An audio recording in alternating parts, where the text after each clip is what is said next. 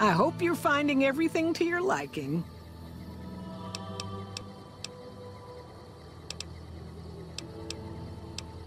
Go see Cliff Briscoe at the Dino Bite gift shop and tell him I sent you.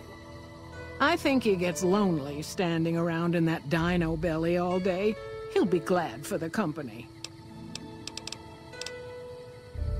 Watch out for strangers.